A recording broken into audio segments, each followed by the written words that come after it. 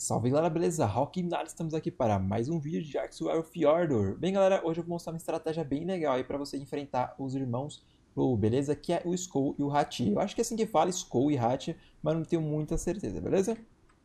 Bem, para você vir na, na, localização aqui, eu recomendo que vocês teleportem para Asgard N, ok? Você vai cair exatamente nessa localização. Vocês chegando aqui, ó, que é basicamente do lado do obelisco, é só vir nessa montanha aqui, ok? Tem uma montanhazinha aqui na frente, ó, onde vocês vão começar a ver essas ruínazinhas, tipo uma, umas pilares gigantes. E aqui já tem o, o altar dos irmãos, beleza? Dá mais um pulinho aqui, ó. Já nessas ruínas, vai virar à esquerda. E atrás aqui, ó, já tá ali o altar, ok? Bem, eu deixei aqui alguns Shadowmanes. A localização desse lugar aqui é mais ou menos em 22, 35, beleza? Eu vou deixar esses Shadowmanes aqui, que eu vou tentar fazer uma estratégia bem legal. Por quê? Como são os dois lobos, eles não são idênticos, tá? Cada um tem habilidades próprias. Como vocês podem ver aqui, ó, o Skull ele tem essas habilidades aqui mais baseada como o Sol, né? Então ele vai ter um dano em porcentagem, ou seja, ele é muito forte. Porém, ele tem a metade da vida do Hat. Então é muito importante que vocês eliminem ele primeiro, ok? Vocês conseguindo eliminar ele, depois os Shadowmanes vão reduzir o dano do, do Hat, fazendo ele virar praticamente um bicho obsoleto. Ele ficar muito fraco mesmo. Então, bora aqui para Boss Fight. Vou mostrar para vocês aqui na prática, na prática como vai funcionar isso, beleza? Invoquei os dois. Bem, eu tenho uma estratégia bem legal aqui também que eu vou tentar executá-la, tá? Que essa, essa aqui é, tipo uma arena. Cada cantinho desse, ó, ele vai determinar onde eles vão poder passar. Vou mostrar pra vocês, ó. Eles vão vir atrás de mim. Ele já soltou a habilidade de fogo dele. Esse lobo aqui de fogo é o que dá dano em porcentagem, ok?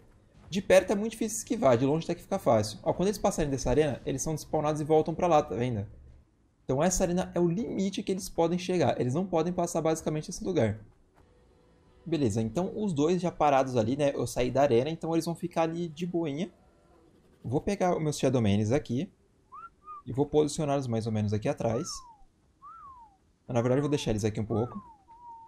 E vou re respawnar eles de novo, ok? Vou fazer os dois vir pra cá. Ó, vou dar um hit aqui. E sair da arena de novo. Porque nesse momento ele vai sair e já, tipo, ele vai respawnar e já corre atrás de mim, beleza? Essa é a hora que a gente vai conseguir pegar ele sozinho. Tá vendo? O Hat ficou de boa lá. Esse aqui é o lobo que tem menos vida, ele tem metade. Então por causa disso, olha como vai ser bem rápido matar ele. Tá vendo? E ele batendo nos Shadowmanes, o Shadowman tem tipo um buff de toxina. Onde tá vendo que tem um, tem um daninho pequeno acontecendo ali também no meio, de 15, 10, tudo, é que ele ataca o Shadowmane e ele reduz até 50% o dano causado da criatura atacante. Então, como vocês podem ver, ele está dando 10 de dano, ele está dando um dano bem baixinho. Se eu tivesse um Shadow imprintado aqui, meu dano seria ainda muito maior, galera. Vou mostrar os status desse Shadow aqui, ó, como vocês podem ver, ele está com 5k de vida, 589 de dano. Ele não é um Shadow muito forte, pois ele não é nenhum filhote. Isso aqui é um Shadow como se fosse um, um Shadowman selvagem, beleza? E agora curta uma boss fight aí, que ainda vou ter que matar o outro lobão ali, beleza?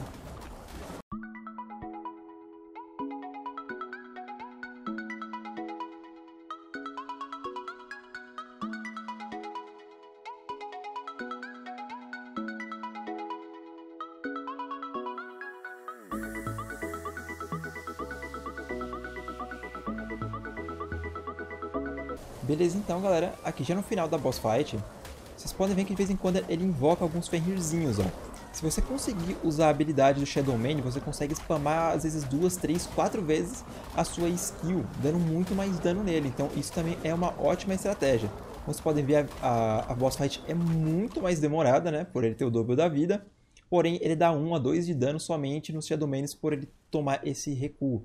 Talvez esse skill dele de spawnar os Fenrirzinhos seja a coisa que mais vai te dar dano. Porém, você consegue aproveitar, né? Dando esse poderzão aqui, dando hit kill neles e recuperando o seu poder, beleza? Então tá aqui, galera, também o loot, tá?